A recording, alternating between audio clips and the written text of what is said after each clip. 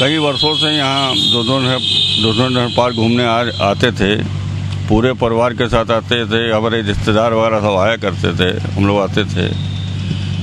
इसका जब गोंडे का जब पता लगा तो बड़ा हम लोगों को बड़ा दुख महसूस दुख हुआ। और ये गेंडा जो है इसी से ही इसके इसने परिवार बढ़ाया था। और ये आज नहीं रहा। हम सभी प्रेमियों को जो है काफ़ी हम लोगों को दुख जो है महसूस हो रहा है।